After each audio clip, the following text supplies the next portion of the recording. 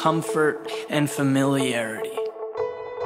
In a world where unknown doesn't necessarily mean good or bad, it's an interesting association. Yeah, that possibility of losing what you have is always real. You know, being mortal, being susceptible to misfortune, we want to protect what's ours. But that's where I diverge. Because what's mine isn't just in my home or garage. It's out there. It's in the universe. It's held captive by what's around every single corner. What's mine is hidden behind tomorrow and the day after that and the day after that. See, walking the same path, doing the same things, expecting the same results, yeah, it's fine, but it's just so limiting. If you don't allow yourself to get lost, then you have to be okay knowing that a part of you will never be found. And that's something I can't live with. Life is so much bigger than your front door. It's more than a, a yearly review, a commute, a test, a routine. It's the places you've never been, the people you've never met, the dreams that you haven't sought out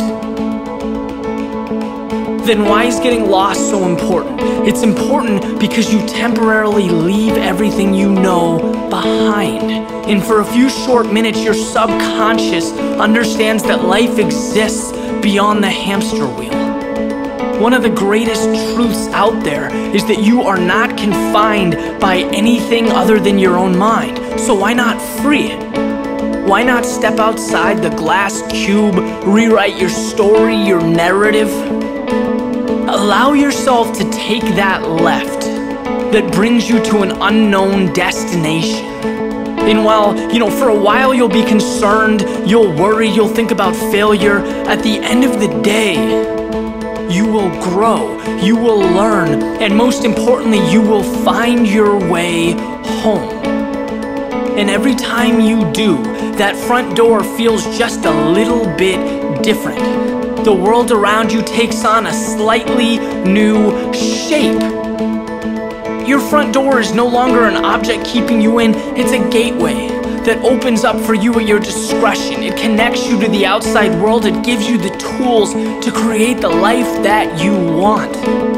Not the life you should have or the one you're supposed to have, but the one you can have, right? So step outside, get lost you owe it to yourself